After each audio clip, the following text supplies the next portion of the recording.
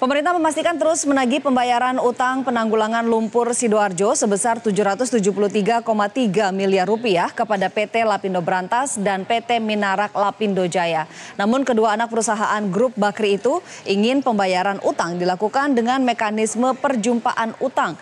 Karena PT Lapindo Brantas dan PT Minarak Lapindo Jaya mengklaim memiliki piutang kepada pemerintah.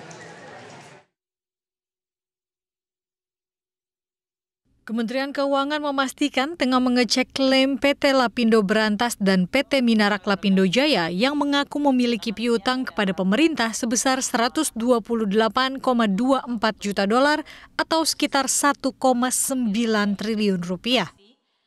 Klaim piutang dilontarkan anak perusahaan grup Bakri menyusul sikap pemerintah yang terus menagih utang pembayaran penanggulangan lumpur Sidoarjo kepada PT Lapindo Berantas dan PT Minarak Lapindo. Dirjen Kekayaan Negara Kementerian Keuangan Isa Rahmat Tarwata mengatakan meski Lapindo mengklaim memiliki piutang 1,9 triliun, namun utang Lapindo kepada pemerintah sebesar 773,3 miliar rupiah.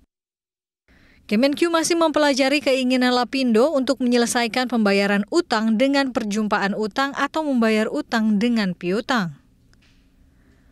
Saat ini pemerintah terus menagih utang sekaligus melakukan pendampingan untuk perbaikan kualitas aset Lapindo yang dapat diserahkan kepada pemerintah apabila terjadi gagal bayar.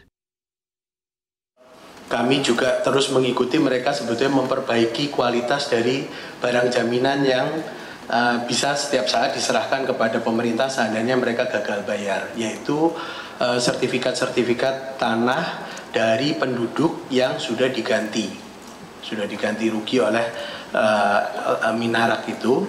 Uh, yang kami dengar sudah ada perkembangan beberapa sertifikat tanah sudah dibalik namakan menjadi nama Minarak yang tentunya akan uh, menjadi berkualitas baik untuk diserahkan kepada pemerintah sebagai uh, barang jaminan.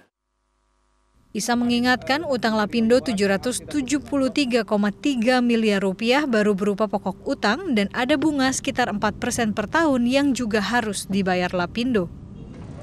Sebelumnya pada Juli 2015, pemerintah mengucurkan pinjaman dana talangan ganti rugi lumpur Sidoarjo kepada PT Lapindo Berantas dan PT Minarak Lapindo untuk pembelian tanah dan bangunan warga korban terdampak lumpur Sidoarjo. Adapun batas pengembalian utang maksimal 4 tahun sejak pinjaman diberikan.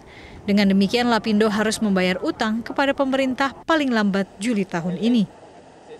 Tim Liputan Metro TV